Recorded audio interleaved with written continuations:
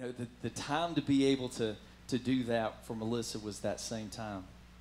You know, there are people in your life that are thermostats, and there are people in your life that are thermometers. And the people that are thermometers always live their life in reaction mode. They react to what's always coming at them, and they, they're nervous normally and they're worried about everything. And then you have those that are the thermostats that when they come into the room, they set the tone.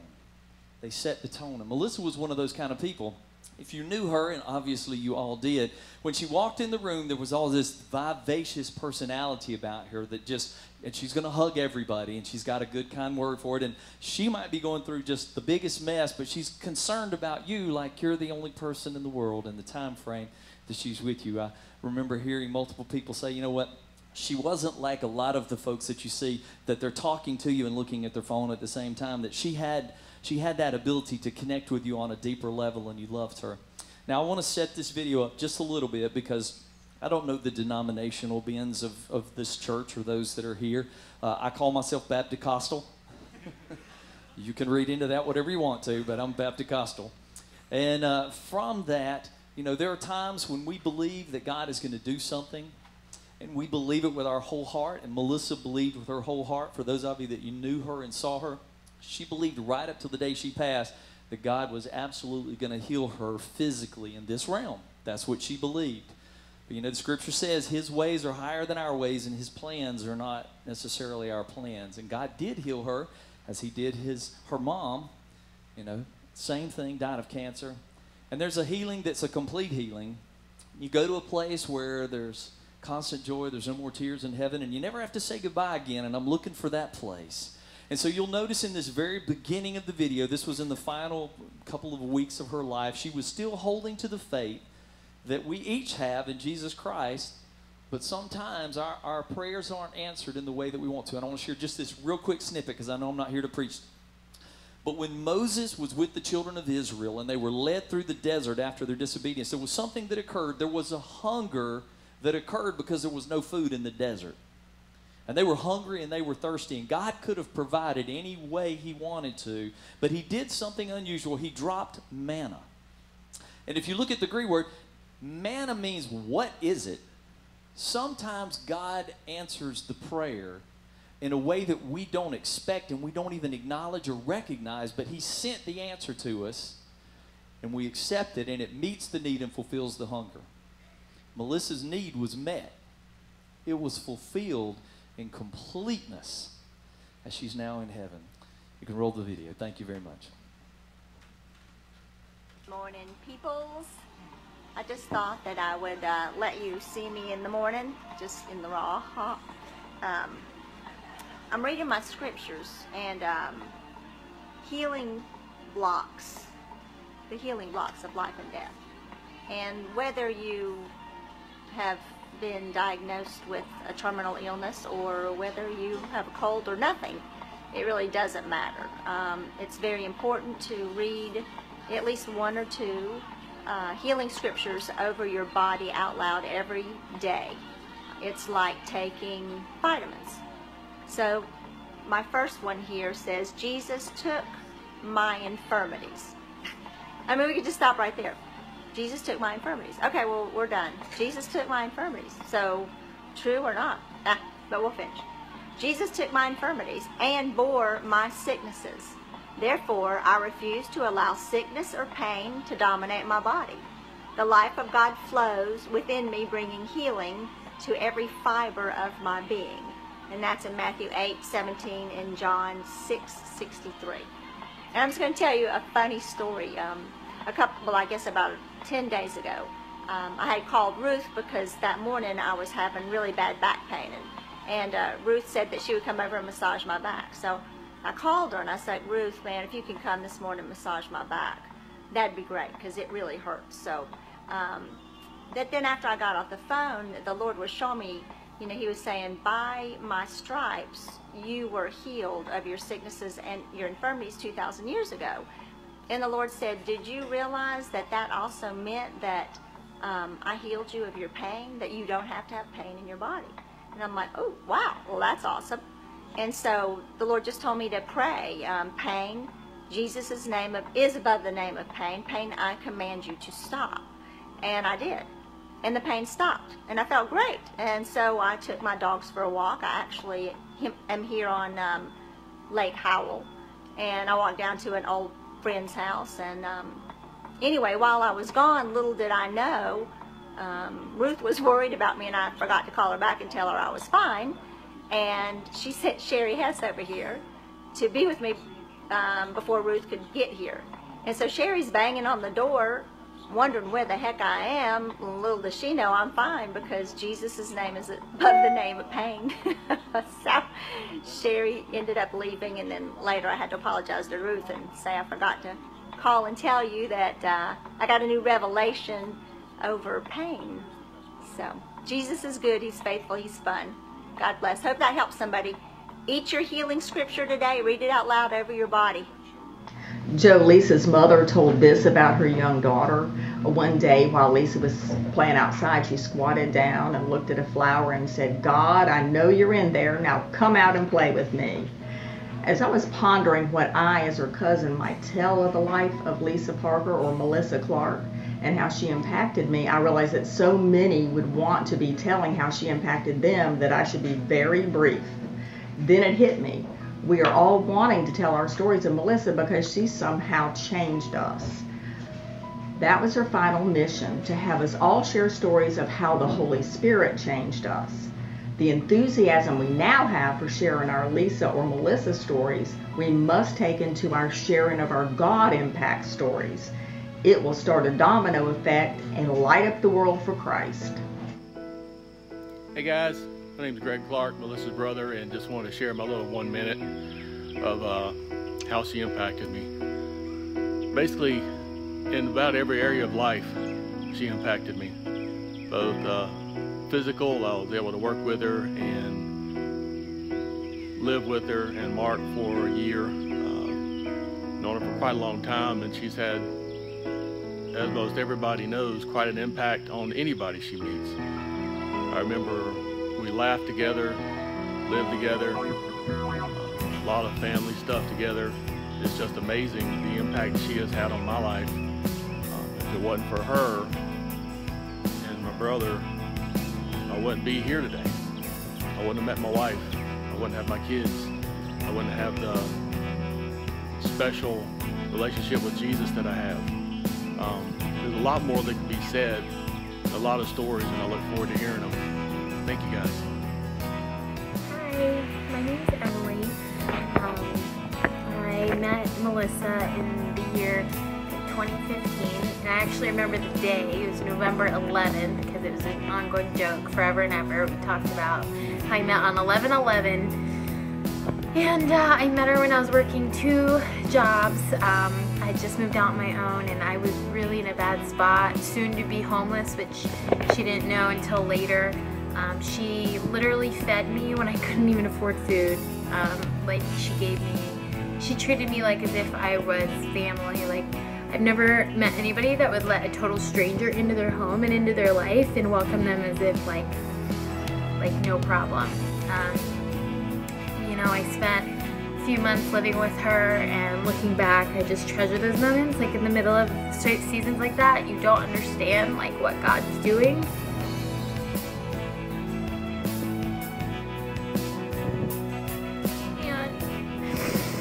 Gives you time with people to be present with them and to learn and to love them and learn from their example. And uh, Melissa embodied what it means to be a Christ follower. Like even up until the end, um, she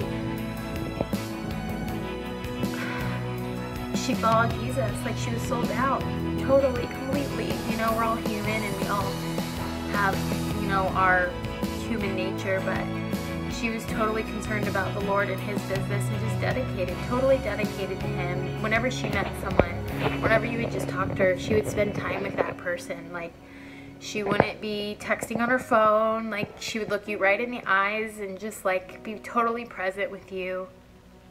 And, uh, you know, see you as a person. And, um, you know, the one thing about her life is she lived intentionally. Like she woke up every day just being intentional about following the Lord and um, living fully, you know, in the moments that we're given. You know, we we don't know the amount of days that we have, and she like lived every day as if I would I would you know she wouldn't I don't think she would ever look back and think that she didn't she would want to do anything different. Um, she loved her family so much, and she loved her friends so so much. And uh, I know that she would want us to just remember the happy times and know that she's healed and whole. She'd probably be like, Emily, stop worrying about it. Like, I'm fine. And it'd be like, you know, she, she was always good about that. But um, she loved fiercely. She really did. And I think it's because she allowed herself to, you know, receive from the Lord and receive His love and commune with Him. And the people that she touched, like, she was just a vessel that she allowed the Lord to lead her and do his work and she touched so many people. I've never heard of someone who's indirectly touched individuals like you know um, it wasn't some organized event you know it wasn't some organized circumstance but on her day-to-day life she met and like influenced and impacted so many people. I know all the things that she's taught me and will always be with me and I'll be able to share even those things with like my children one day like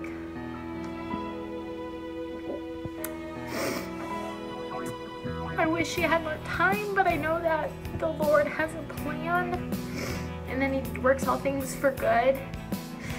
And uh, I just encourage myself and you um, to remember her her like all the joyful times and keep that alive and uh, love on people who also knew her and uh, remember her alongside of um, each other.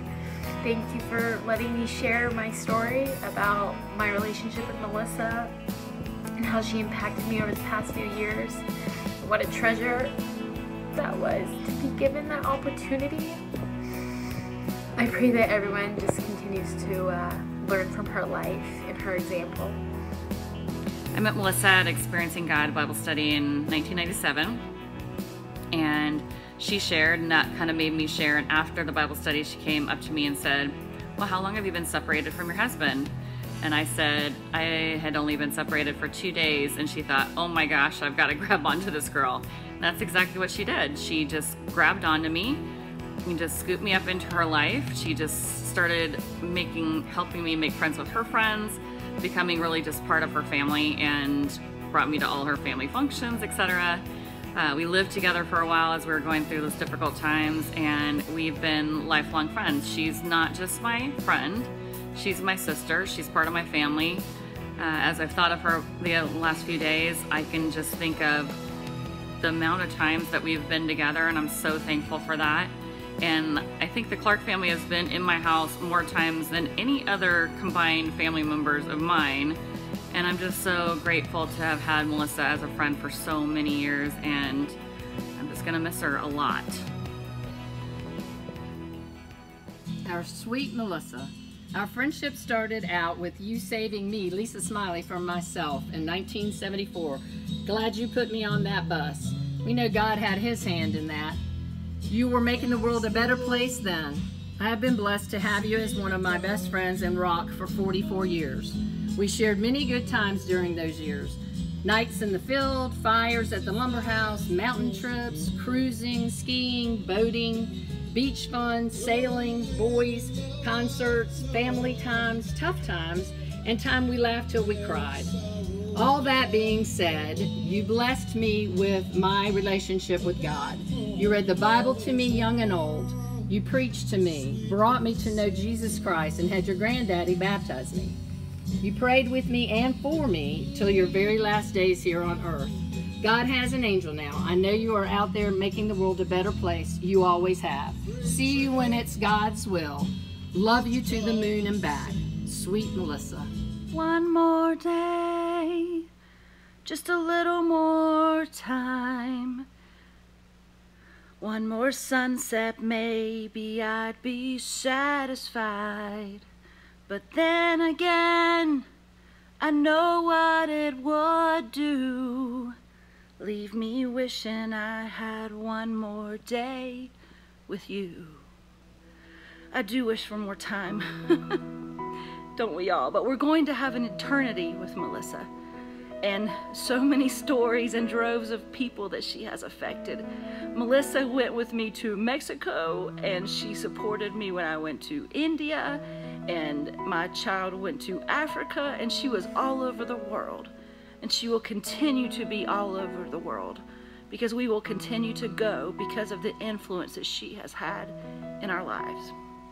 She will be missed, but we will have an eternity, an eternity with her, and many, many more stories. Hi, my name is Philip, and I just wanted to remember and honor Melissa Clark. I've known her and her husband Mark for over 20 years, and uh, my wife and I met Melissa at Willow Creek Church as she worked with my father-in-law uh, in the sales industry. In the last 10 to 15 years, um, she has demonstrated and shared a, great example of following Christ and what that meant to really love people, um, not just vocationally, but uh, out of her family. And um, as adoptive parents ourselves, uh, Mark and Melissa loved on their adopted kids. Sometimes our ministries are best with our families. And she really exemplified that in loving Ash and Jacob. And um, this past year, as some of you may know, it's been a difficult year for myself. And she and Mark would invite me to their home. We'd share meals, we'd worship in their living room. And um, it just was really a, a, picture of heaven. And she pointed people to Christ just out of a, a sense of her love and kindness. We will miss you, and we will take your example to heart. Thanks, Melissa. We uh, can't wait to see you in heaven. Thank you. This is Ryan Fry, uh, currently in Kuwait, and one thing I would like to uh, describe is just how good Melissa was to me and Liz before she passed away. Um, it all started basically back in 2013 when I came back home from my uh, fifth deployment. She basically has helped me uh, handle the situations that I had to handle concerning the trauma that I deal with, the toxic environment I was in. And even furthermore, she has been good to my family and I in 2014 and 15, even in some of the toxic leaders I had, and knowing how to combat them and knowing how to have the resiliency in order to uh, handle their um, you know, issues that I had to handle while I was dealing with what I needed to. I'd like to thank uh, Melissa. I know she's uh, with the Lord now. However, uh, I really appreciated what she did for me and Liz, but also the family counseling that she allowed us to handle even after I came home and how to reintegrate with the family. Uh, thank you everybody for putting this on and uh, have a good day. Hi, my name is Akila Pitts and I met Melissa Clark at East Coast Believers Church. Who knew when I decided to join a group by the name of Heart to Heart that I would meet a true sister friend? But that's exactly what Melissa was for me. She was a friend, she was a mentor, she was somebody who encouraged me to grow in my spiritual walk. She was very transparent. I mean, she was just my girl. and one of my favorite memories of Melissa is when I confided in her that I wanted to be able to throw my daughter her very first sleepover when she turned 13. Melissa actually opened up her home to allow me to be able to do that and we had so much fun that weekend and I really love and appreciate her for that. I'm gonna miss my girl, but I know I'll see her again. Lynn Taylor, I'm one of Melissa's Florida friends. I met her at ECBC in 2009. Melissa is a precious woman of God. She still is, even though she's not here. She's going to be missed by many. She was a good friend and a mentor that I loved and cared very deeply for. She made a difference in my life. Mark, Ashley, and Jake, just know that Paul and I are praying for you and for the rest of the family. We can keep you in our hearts and our minds and our prayers. I'm sad that Melissa has gone from this earth, but I know that she's in the presence of Jesus right now, hearing, Well done, my good and faithful servant. I can imagine her telling us to feel the feelings, feel the emotions, and to let those tears flow. give yourself, give your sadness to Jesus, ask Him what to do about those feelings, she would always say, Remember to breathe and to rest in Him. Melissa taught me that you need to practice the presence of God, practice the presence of others, and practice the presence of yourself.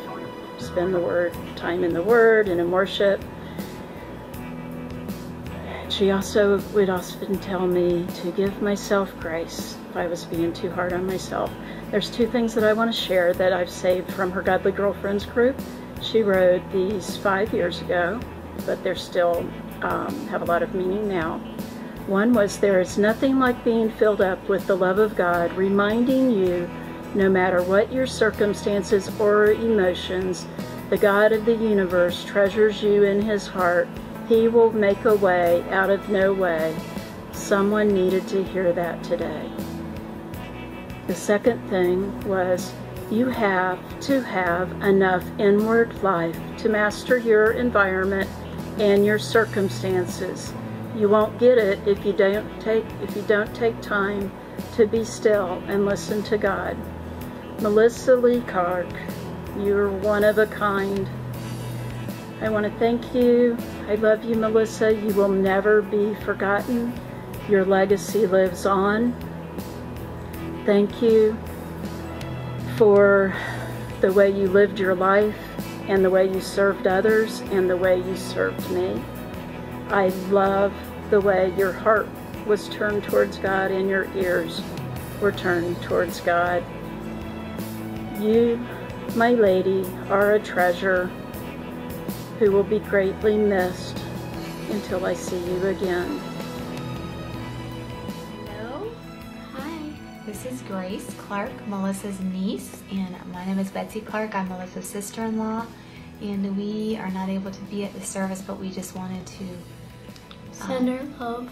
Send our love to everyone and thank you for coming and just share that we know that Melissa's greatest desire is for everyone that she knew and everyone who crossed her path would know the love of God that radiated from her. Grace. She was such a genuine person. Yeah. Yeah. Yeah. And kind. She was just friendly to everyone that she met. And fun, right? Fun. would She, was to- very fun. She tried to make everything you did fun. She tried to make everything a game, and it was amazing. Every time we were at her house, we would never be bored, and we would never have nothing to do. And that isn't in a lot of people. She would always create something to do. Crazy, right? Yeah. Mom still has a trophy from one of our games. Yeah, I So we will miss her very deeply on this Very earth. much. But we know that her biggest desire was that everyone would know um, God through Jesus and experience the love of God. And um, We have to kind of carry that on and Mm-hmm. spread that love like she did. that is the purpose of everyone who knows Jesus to um, share him with everyone we meet and with the gifts that he's given to us. And I know she would encourage everyone to use the gifts that God has placed in you um, and live the purpose he made you for and live for eternity. Don't just live for this life, but obviously enjoy this life. God gives us gifts and he gives us life and he gives us abundant life. And it's a beautiful thing. Um, and, and we, we can enjoy it, but we also, we live always with eternity in our hearts and our minds. And so, um, you have anything else to say? Um, not really, but What's that? yeah. All right. Bye. Have a great night.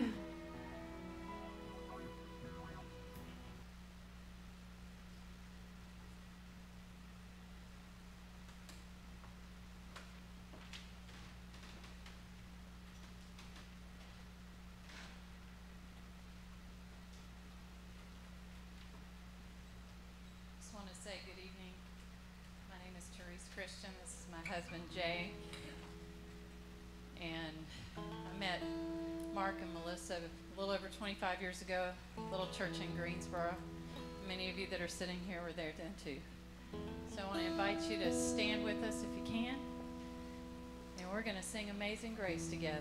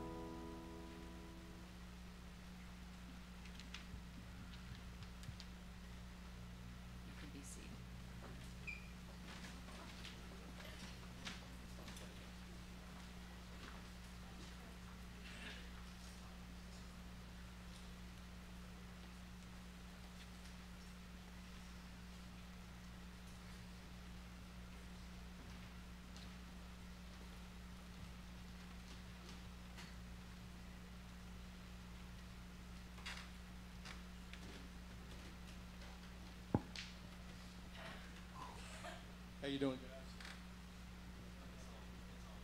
It's on? Got it. Got to hold it close to my mouth. Got a big mouth anyway, so. I'm Greg. I'm Ashley's uh, brother. This first part is for my niece Ashley, my beautiful niece Ashley. She uh, she wrote something for her mom, and she asked me to read it for her.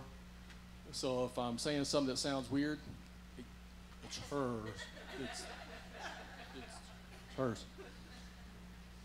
Uh, hang on. She said, "My mom was the most out." Sorry, that's, that's not that right. I say that so I won't cry, guys. Uh, my mom was the most outstanding woman I have ever met. Her love for Jesus was so influential and pure. She never missed a day to worship Jesus. She would also always get up at 5 a.m. and sit outside and listen and worship God. My mom impacted many people's lives all around the world and will continue to do it with her kind hearted spirit. My mother has made me the strongest I could ever be. I remember when I was little and she took me to McDonald's for the first time. I read the rest of it, it's funny. she always had fed me chicken, so I had no idea what a hamburger was. And I told her, I wanted a burger with only chicken on it. And I remember how bright her smile was and how joyous her laugh was. Her eyes were as blue as the sky. I remember my mom's face when I told her that she was going to be a grandmother. Uh, she called me crying in joy and was so excited. I'll never forget the happiness in her voice, but I know my mom is watching over us today and every day to come. I'll never forget her singing, her laugh, her cry, her smile, her voice, and all the wonderful memories we had. I love you, Mom. Ashley. Thank you, sweetheart. That was a beautiful remembrance of your mom. Well, welcome everybody. Uh, it's good to see so many familiar faces and so many new ones. I'm just sad it's on this occasion. Thank you. Thank you for making the time to honor my sister. You know, she married my brother Mark, and they were just thinking that may sound kind of funny, but she's my in-law, but we dropped that a long time ago. A special thank you to her family for the honor of being here, and to her immediate family, Mark, Ashley, Jacob, and even little man. We love you. Another big thank you to all who cared for her throughout her life and at the end from the days on Ange couch, from the time here with friends and family cares for, you know, so many. If I tried to do a list, I, I would miss them. I'd miss a dozen. And thank you to Vision Church for the facility. A lot more thank yous out there, but for the sake of time, all who involved with Melissa's life, thank you. again, I'm honored and blessed to be able to remotely attempt to try to speak and do justice to a woman who we all agree is beyond compare. As I prepared for this in the beginning, you know, I thought I thought I'd knock out some nice thoughts, nice platitudes, tell some funny stories, connect it to Jesus, and you know, we'd all cry a little bit and we'd all be done. Little did I know that plan would quickly change. The more I heard from real people, you know, like we heard, from more friends and family of hers, the real prayers, the more stories that we heard. And trust me, this is only a small drop. There are hundreds and hundreds more. The greater the gravity of this is fallen, and I just hope I make it through. How in the world do you do justice to such a great woman of God whose heart was all about others, helping so many, touching hundreds, if not thousands of people? You know, sometimes we hear when people die, they leave a hole. You know, sometimes the holes are bigger than others, but I feel like Melissa, she left the Grand Canyon.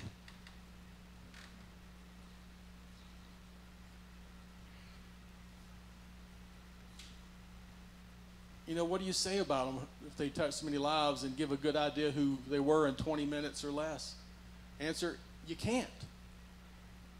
But in the end, I hope to portray just a portion of who she was.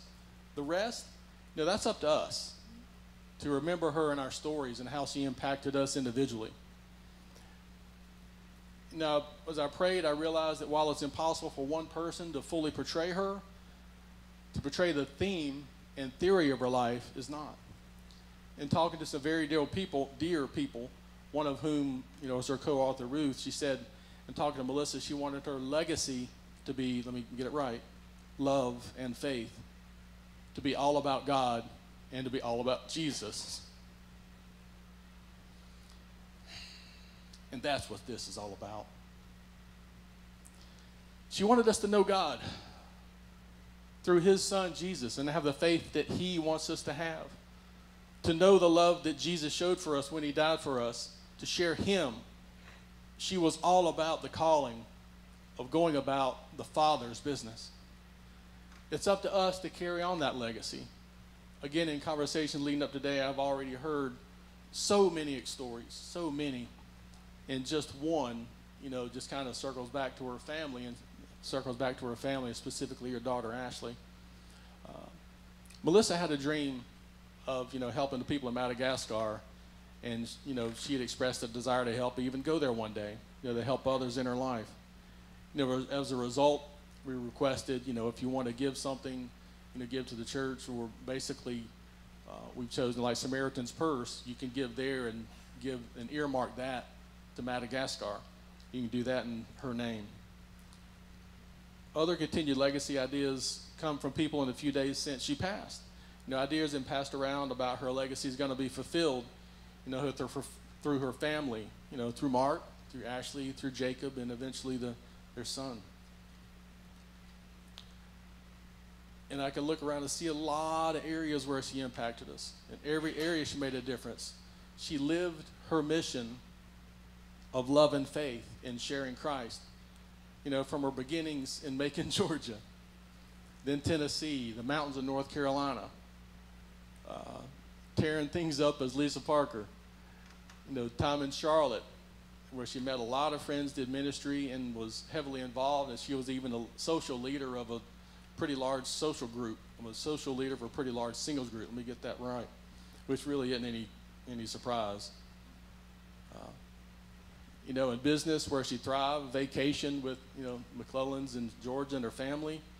You know, uh, fun with Myrtle Beach with Lisa and company, snow skiing in Colorado, water skiing up here on Lake Norman, her time in Florida, you know, where she continued her counseling business and made a lot of friends, and then back to North Carolina. You know, I can tell just by looking around, she already, already started spreading her little Melissa tentacles everywhere. you know, so many areas in the physical and spiritual, spiritual. I know, I know, I'm missing a lot. An impact we don't really fully know until we meet her again in heaven tell stories about how she connected us. All of us, all of us here were connected by one great lady. You know, she is a perfect illustration of the water drop. You know, when a water drop, water drop, la la la, how a drop of water falls and the ripples it makes. You know, she had plenty of drops everywhere she went. Where she worked, where she lived, where she loved, where she prayed. And from looking all the posts, you know, some of them are on these boards here, and this is just a small portion. And the one from Kuwait, she has drops all over the world. It's amazing how far her reach is. And again, those ripples, those drops, all those ripples have intersected right here in this room. And realizing, talking with friends and family on Saturdays, I mentioned earlier, it's up to us. It's up to all of us to find out where those ripples intersect and carry on her legacy and not let how she brought us together fade. And that's not going to be an easy task. Because while she was a little bitty girl, she carried a big shadow. It was huge. Because in life, she was basically larger than life. If I could say one highlight about her life, it would be she lived. She didn't do anything small. You know, in speaking with many, and we all have agreed she really didn't do anything small. She didn't always know all the details. Matter of fact, she rarely knew the details. She just figured that out later. Um, she always had these grandiose ideas, you know, where she was going to save the world, you know. But she was always about her father's business. You know, here's a real quick story of one of the times I remember was involved in. I think it was a couple years ago. Uh, I think we were visiting you guys down in Florida, and Mark, you and I called it the Melissa Saves the World Tour. you know, it's going to be in a, a Orlando downtown mission for the homeless, you know, during a holiday. I think it was Thanksgiving, could have been Christmas, I don't know. But our full ham- family was there. Uh, but I remember that morning, Melissa comes down, you know, Betsy and I and the kids are in there, and she had this Melissa look about her. You know, she was going to ask you something to do, and you're like, uh oh. What are we going to do?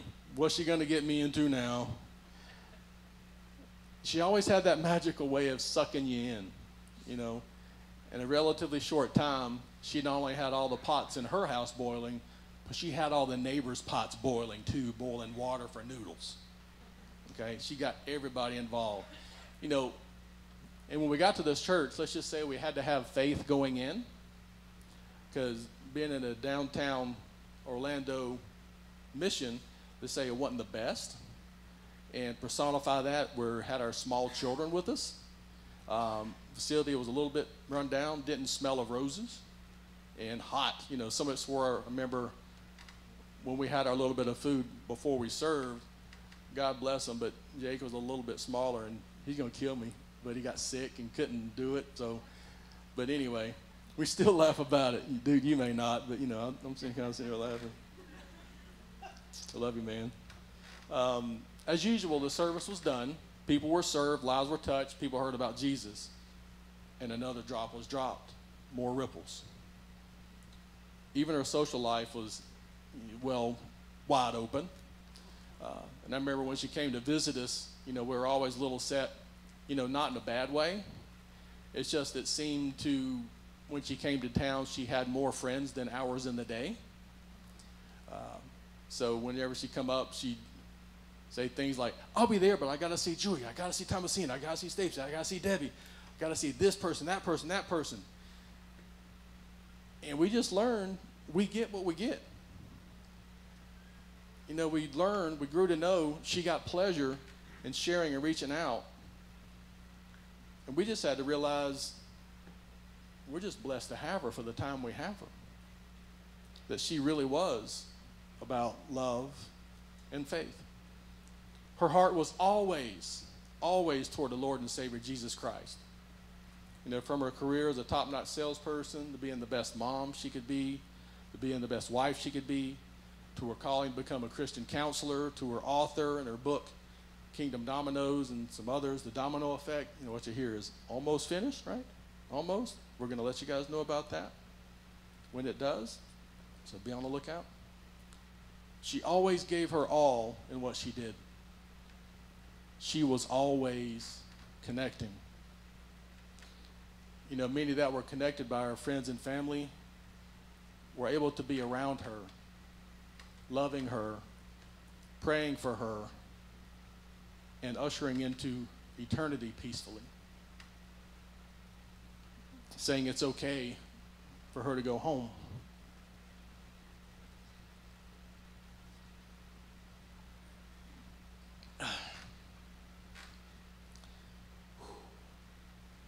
And as I hear when she passed, uh, she passed beautifully and quickly without pain, without struggle. She was taken home beautifully, taken home in the arms of the Father with arms robed in white to streets paved with gold.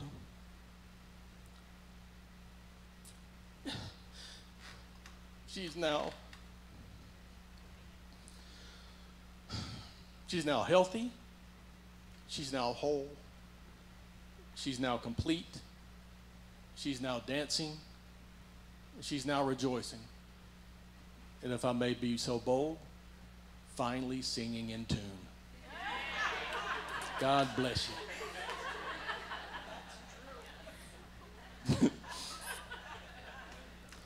now, if you want to hear a fantastic story about her passing, you know, after we're done, you know, go to Facebook, look up Oaks Rising, and look up uh, with Stephen Pam Vanderbilt, and they'll be there. With, they were there with Melissa and helped her pass. It's a beautiful story, uh, and they did kind of help usher her into the Father's hands.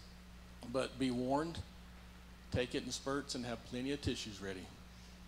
Um, going to segue just a little bit. I think Nick kind of hit on this in the beginning. I'll just kind of touch on a little bit more. Uh, because looking back in the early days of her diagnosis, she always told us that the Lord said to her, Rest, rest, rest.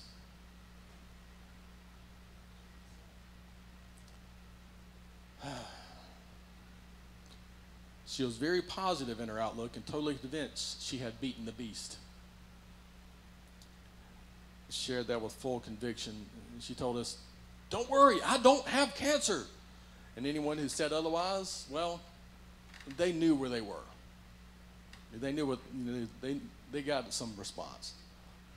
And when she passed, I know I, I questioned, well, did you hear from God or not? Was it false? Did she mishear? You know, what's that all about? And my answer, this is my answer, this is my thought. She told us because I believe she wanted to, even in the end, think about us. Was it some sort of wishful thinking? Doubt it, maybe. Was some of it not wanting to accept the full truth? Possibly. I don't know. When I get there, I'll ask her. She told us that the rest, rest, rest was so she could be here and continue to finish her work. At least that's what she told us. I think that in the back of her mind, you know, she finally came to realize after much conversation and prayer that it meant to get ready for her eternal rest.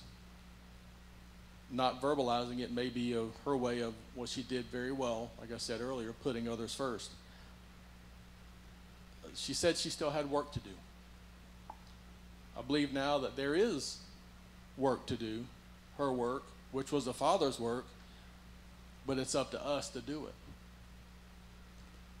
She laid the foundation. She laid a solid foundation in the first few floors. It's up to us to keep building and building and building on that. We're to carry her legacy. You know, like her book, Kingdom Dominoes and the Domino Effect. You know, all the women's groups that she was involved in, all the couples groups, all the people that she touched all the people that she counseled, don't let that pass away. Share that love with others because it's the love of the Father that's in her. In closing, close, let me say something to my niece and nephew, Ashley and Jacob, and to my awesome brother Mark, and to her family. Your mom's not gone. Your wife's not gone. Your sister is not gone. Your friend, your cousin, your confidant, your mentor, your aunt, your niece, your daughter, she is not totally gone. She's right here. She's right here in each and every one of us.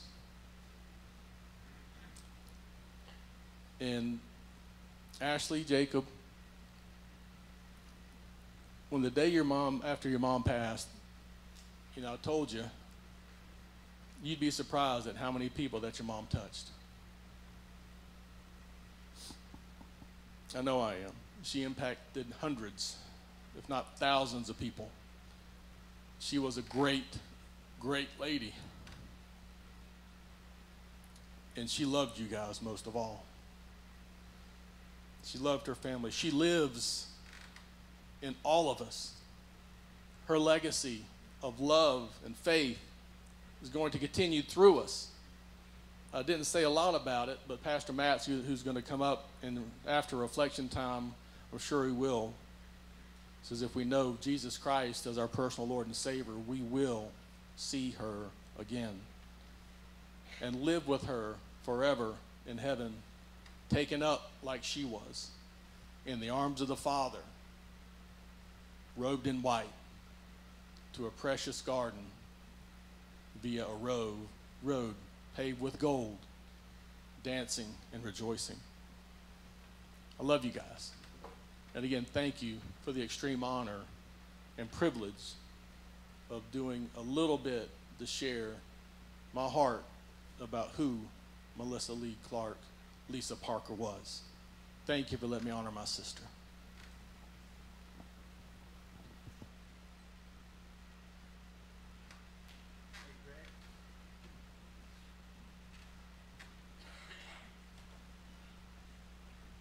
Hey, everybody. Um, I just want to take this moment to thank those that uh, have been taking care of Melissa and taking care of our family, being concerned. Um, I can't say how much it means to me. And uh,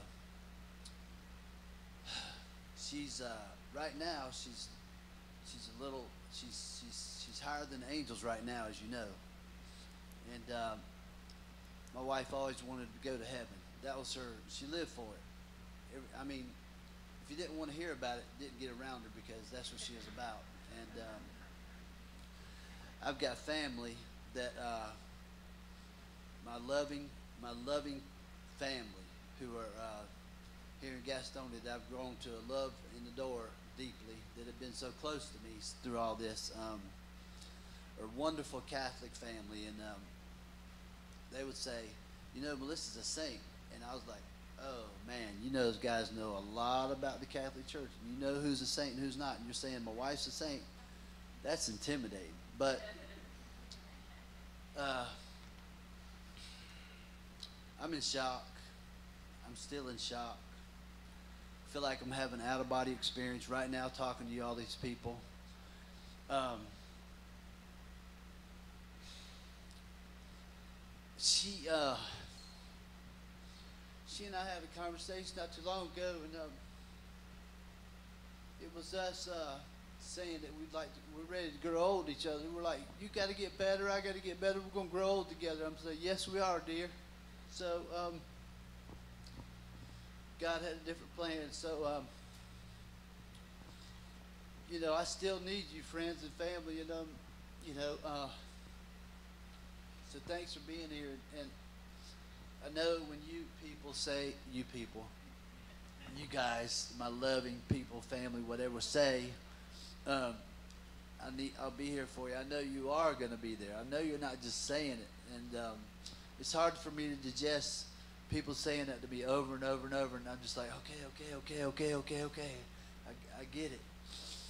And uh, there's people here all the way back to when I was in elementary school in this room right now. And um, there's people that I did crazy things in high school with in this room. There's people that, uh, sorry about that.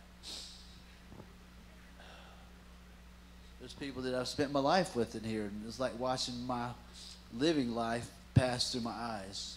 There's my ador- level, lovely family that I've spent many Christmases right here with, and um, I adore them as well. And it's good to see there's people here from all over the place. There's there's people I've been in ministry with together, the Sartains, and um, the people I've been in ministry with, with Ruth and whoever, you know, just helping. I was always, I didn't have to be in ministry. I never had to seek a place for ministry in my house. It was always right there. Just go do what was, go do what was going on. It was there, man. So uh, I guess a lot of the good seed I have in heaven definitely has attributed to her. Because I didn't try to lead. This is crazy because, you know, the husband's supposed to be the head and all this stuff. Uh, I was somebody that followed, to be honest. I was somebody that followed in it. I don't know. Maybe I was the perfect humble guy to be in her life to follow and just provide and kind of uh, do that kind of thing because she made it easy. We never argued over it. The time she spent, I knew I was sharing her all the time. I knew I was sharing her all the time. You know, um, which is good because I knew. And the friends that she made became my friends, and I love y'all, and here you are, you know. Um, we uh, wanted to come home, and, you know, the Lord let her pa- pass at home. The Lord let her pass at home, right? And uh, we were in Florida for a long time, and when wintertime comes around, I wish I still was back there. Uh, I really just wanted to say from the bottom of my heart, and I'm surprised I'm not crying more. I thought I'd have to. I thought I would be in a puddle coming in here. You'd have to wipe me up, or you stick me under the chair and wait for the whole thing to be over, and then scoop me back up, put me in a bucket, take me home. I feared this moment. I feared this moment. I actually knew, you know, I see her at home. She got the diagnosis. She still have pain. When she walked in the kitchen and she was holding her back and her stomach, I was just like, oh no. And when I knew, I knew that I knew that I knew, when the Lord told her to rest, I knew what it was. I knew what it was, and um, I just wanted to be there. You know, I just wanted to be there for her, and um, I'd get on her nerves, saying, "Honey, what can I get you? What can I get you? My job is to serve you. My job is to serve you. I'm right here." She's like, "Get out of here! I'm tired of you asking me what I need. I'm not sick. You just get out of here. Come back lunchtime. I'm gonna take a nap. All right, I'll do that." But uh, there's been some good friends. I've, I've, my life has been enriched through hard times since, uh, since we've been back here, and um, it's a full heart, it's a broken heart, and um, it's God's will to have a broken heart right now, you know. So. Uh, out of that's going to spring some life that um, just is. That's how he works. I lived life, a lot of my life in my head, you know. Um, a fair amount of brains up there, some of which I forgot to use. And, um, but, you know, I'm trying to live life from the heart now. And shoot, man. And when you walked in our life, you know, and walked in our life, there was a uh, Africa thing going at the pavilion down at the church. I'm like, and I, I was a Christian, like, man, I just don't want to go to Africa, you know. But here's they're doing this thing on Africa. Next thing you know, Melissa's linked in Africa, and then she meets this lady from Madagascar in this, in the grocery whatever store it was, and she says, "Come see us." You know, she really felt like the Lord was calling her there and then um, she got.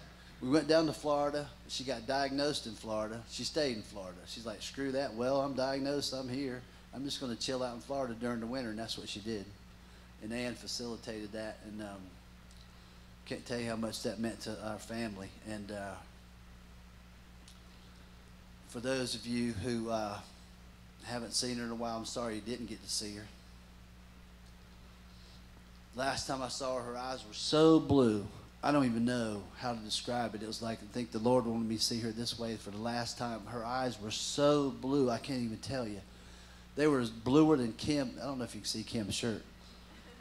They were blue. It was just like I could see into her soul. It looked like a blue laser was piercing my soul. It was amazing. And um, I consider it a definite, extreme privilege to be here and uh, around you guys and to, and to be thankful totally for her being in my life for 28 years. And, you know, I come here and Joyce is here. I remember going to the street ministry. I'm like, oh, God, okay, we're going to the street ministry. That's what you're doing now, Mark. You're going to be a street ministry guy. That's good.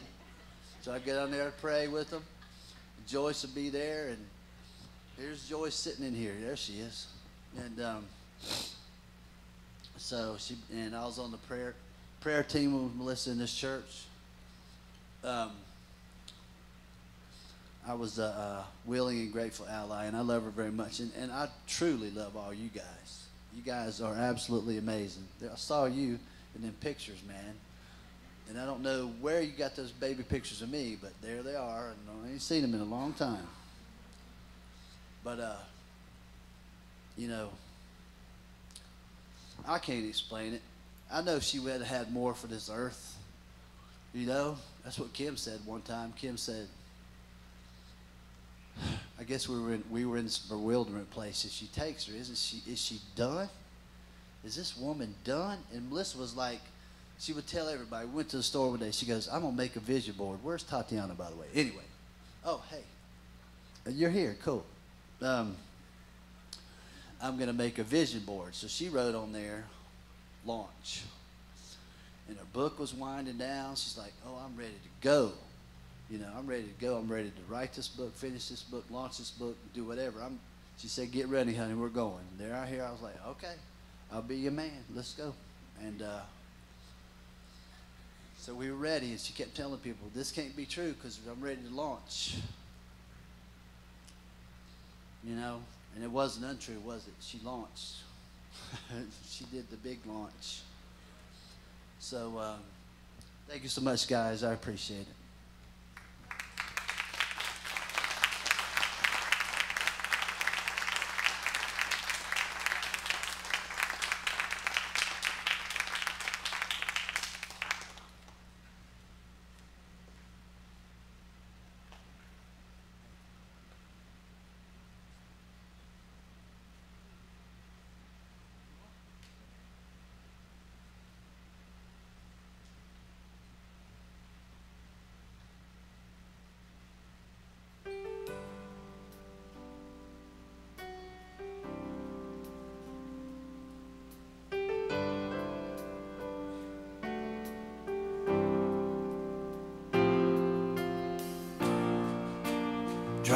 Close to you. Never let me go. I lay it all down again to hear you say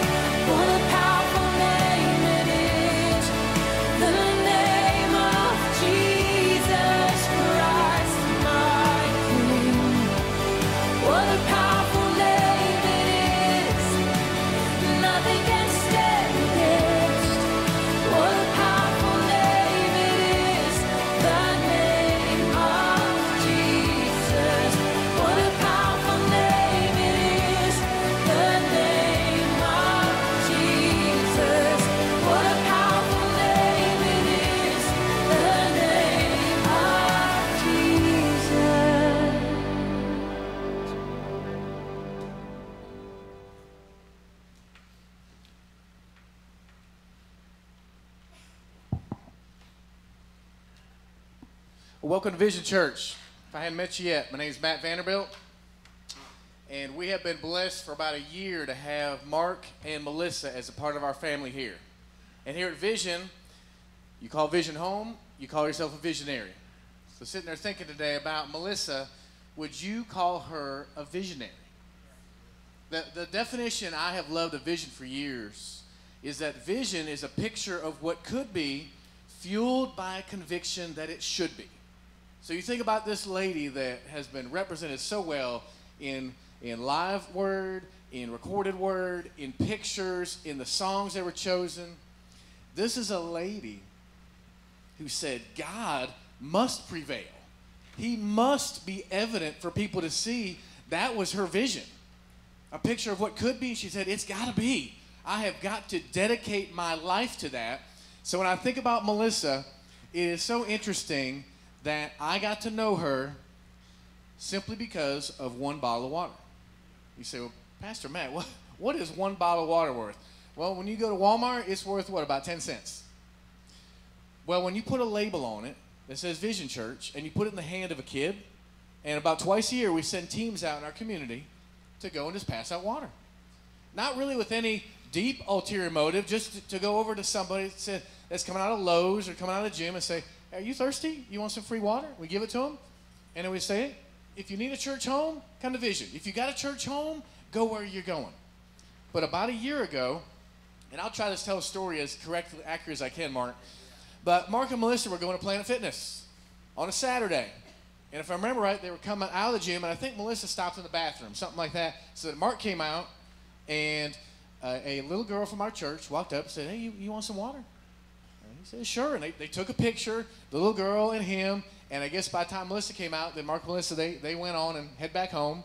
And uh, evidently, Melissa had been praying, saying, Mark, I, I don't think we're exactly where God wants us to be.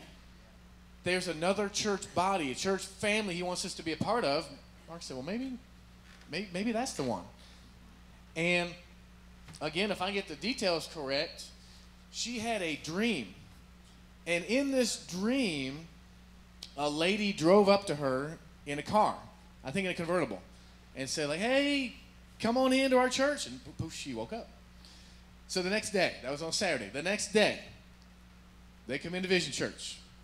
They come and sit, I believe, right over here. And Melissa looks up on the stage, and our worship leader, Tabitha High, I guess, starts singing and looks that way, and Melissa says, That's the lady. That's the lady from my dream. And then we finish the first song and we start playing a video with highlights from Project Refreshment the day before. And Mark says, You're not going to believe this, but my picture's come up on that screen. She's like, What?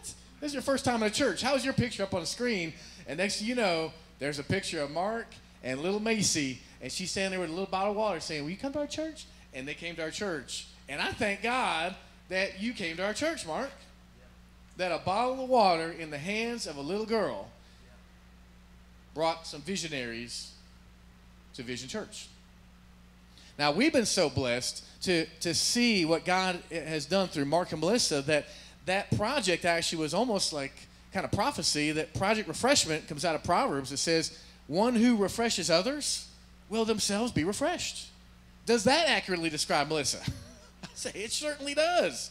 She seemed to be a lady who dedicated her life to trying to refresh others. And when they say, Why are you doing this? She said, Because God's refreshed me. And that is who she was and who I believe she is up in heaven saying, Jesus, I lived for you. I did everything I could for you. I had this, this conviction in me that it, it should be and it could be. And he said to her last Thursday night, Well done. Come on in here.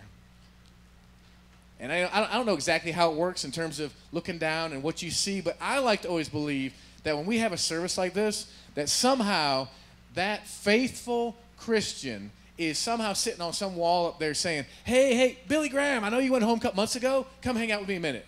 Or say, Hey, Timothy, or you know, Hey, Mary, come hang out with me because there are people gathering tonight in Vision Church to talk about my life. And there's no pride in that. There's a joy in that. It says, Come on, get in here and watch. And so who knows what crowd in heaven tonight is watching and listening to say, There's another member of uh, Hebrews 11. There's another member of the Hall of Faith that has come home. And I say, Thank God we had a chance to know her. And like you said, she's not gone. She is in us. There's a piece of her in us that can inspire us to live differently and better. And what I like to do at memorial services or funerals is I like to look in God's Word and try to pick out one person where I see characteristics in them that matches the person who just went home. Now, Melissa, there's, there's a myriad of people in the Bible you could pick out, but I, the one that God put on my heart is actually back in 2 Kings. And it's not Elisha, even though the story is about Elisha. The story with Elisha is about a woman with great faith. So listen to this. Says, A certain woman of the wives of the sons of the prophets cried out to Elisha, saying, Your servant, my husband, is dead, and you know that your servant feared the Lord. And the creditor is coming to take my two sons to be his slaves. So this lady is in a position where her faith is being tested aggressively of whether she can truly trust God to provide. Verse 2 Elisha said to her, What shall I do for you? Tell me, what do you have in your house? And she said, Your maidservant has nothing in the house but a jar of oil. Now, in this, I see somebody who is a visionary and says, Okay, I got a little bit of something. I don't have nothing, but I got something, and I think your God, my God, can do something with a little bit of something. Because me plus God is awesome. God's the awesome one, and I'm the vessel, so let's see what happens. Then he said, Go, borrow vessels from everywhere, from all your neighbors. And this is interesting. When you told your story about pots of water and spaghetti or whatever it was, I thought, man, this is kind of foreshadowing. Okay. So said, Go get empty vessels. Don't gather just a few. And when you have come in, you shall shut the door behind you and your sons. Then pour it into all those vessels and set aside the full ones. So, mean, can't you just imagine Melissa saying, Really? God's going to pour something through me? Let me go collect a bunch. Let me go get vessels everywhere. Let me go talk to people and say, You think I'm crazy? Bring more. Come on, bring big ones, bring small ones, whatever you got. Bring them in because God is going to do something. And people are looking at her saying, Really? Is he going to do that much? She said, Come on.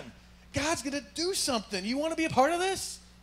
And she would try to be a visionary who would implore people to trust God for doing something amazing. So she went from him, went, shut the door behind her and her sons. He brought the vessels to her, and she poured it out. This oil starts pouring. And if you don't, don't ever miss this in the story, the oil doesn't start pouring until the faith is there to receive it. A little bit of faith, there's going to be a little bit of oil. This lady had a bunch of faith. Our lady, Melissa, had a bunch of faith. Now it came to pass when the vessels were full, she said to her son, Bring me another vessel. And he said it. There, there's not another. So the oil ceased. Then she came and told the man of God, and he said, Go sell the oil and pay your debt, and you and your sons live on the rest. And in this lady, I see three things. I see, first of all, she loved God. She trusted God. She said, I'm living for you. I'm trusting you. That's our Melissa. That's what she did. I see number two, man, she loved people. She loved her sons. I think she loved her neighbors. She loved the people around her because uh, all this oil wasn't built up for her. It was going to be to pass on to other people, to see God do miracle after miracle after miracle for other people. So she loved God. She loved people. And then number three, she had faith, a kind of faith that God worked miracles through. And you see it on these boards. You see it in the, the testimonies. You see it in the pictures that Melissa Clark was the lady who said, God, I want you to work miracles through me, not for my glory, but for yours. And so, like this lady in the Bible, Melissa was a hero. Some people say, well, heroes are a dime a dozen these days. No, they're not. Not heroes that impact eternity. Not heroes that truly stir something in you that you watch those pictures, you say, Man, I wish I had more time with somebody like that. I wish I had more time to be around somebody who made my life better and inspired me to higher levels that I could go on my own. That was Melissa. And I say, Thank God I had her in my life for a year. How many of you had her in your life for more than a year? Okay, keep your hands up. How more than five years? How more than 10 years? More than 20 years? More than 30 years? Really, more than 30 years. I had one year. You put your how many? How many years? More than 50 years. I said I got one year. So thank God for the gift He gave you of having Melissa in your life. And don't let it stop there. In two ways. Number one, live on this planet in a way that would honor her because she wanted to honor Christ. Don't just walk away tonight saying, we're going to miss her and life's going to go on. Take a piece of her with you and live differently for Jesus because of her. And then the second thing, like you alluded to before, is there's a party going on and Melissa wants you to be there. So, okay, anybody here, this is your first time in Gaston County? A couple newbies? Okay. Now, in Gaston County, we have a place called the Gastonia Convention Center. It's about 10 minutes from here. And so, what if I was telling you that there is a huge party going on there tonight? Okay, it's 8.03. The party is starting at 9 o'clock. And Melissa said, Pastor Matt, tell them to be at the party. It's really as simple as ABC. She said, "Look, you gotta you gotta admit that you're not perfect because they're not taking perfect people into the party. But if you want to come to the party, just get directions and go to the convention center, go to the party." She'd say, "Well, the second thing is B. You got to believe there's only one way in the party." She said, There's a front door and it's locked, but there's there's a key right here. And if you take that key, it's not your house key, it's not my house key, it's the only key that will open up the Gastonia Convention Center. You walk up there, click, that door opens, they will welcome you into the party. If C, you'll say, I'm gonna choose to follow that guy, the one running the party, and you're like, Who's running the party? Melissa's not running the party. Melissa's dancing at the party. Melissa's singing on key or off key. I don't, I'm not sure how she's singing, but she's singing at the party, and she's dancing. She's doing you know some of that. She's uh, got fun things going on at the party, and she would say, "Don't miss the party, because Jesus is throwing the party." And if you will admit you're not perfect and believe there's only one way in and choose to live for Him, then come on in. Why would you want to miss a party like that? Not only one that has your friend Melissa at it, but one that is a party that goes on forever, where there's no more tears, there's no more pain, there's no more pancreatic cancer, there's no more kids dying young, there's no more broken homes, there's none of that. Jesus says, Come in to that party. So, if you would, close your eyes a minute. And with all of us having our eyes closed, I want you to think for a minute about what you think will happen when you die? Will you be reincarnated? Will you just cease to exist? Or are you going to live somewhere? And as for me and Melissa and everybody else who shared on the stage tonight, we're believing you're going to spend eternity somewhere. And when we look in the Bible, and this guy Jesus, who rose from the dead, said you're going to spend it either in heaven or you're going to spend it in hell. He didn't say you're going to heaven if you're good or you're nice or you give money or you help people cross the street or you, you feed the homeless. He said, You will live in heaven if you accept me as your Savior. He says, Admit you're a sinner. He says, Believe that I'm the only way to heaven and choose to live for me forever. And you can live in heaven. You can come to the party. So, in this last minute, with your eyes closed, don't let this moment get away from you. If you're sitting there saying, I don't know if I'm going to heaven.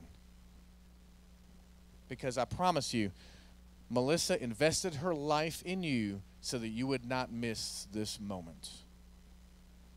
And that you, in your own words, in your heart, would pray and say something like, God, I do admit I'm a sinner, and I'm believing what Matt's saying about Jesus. And I want to choose to live for Him with my life starting right now.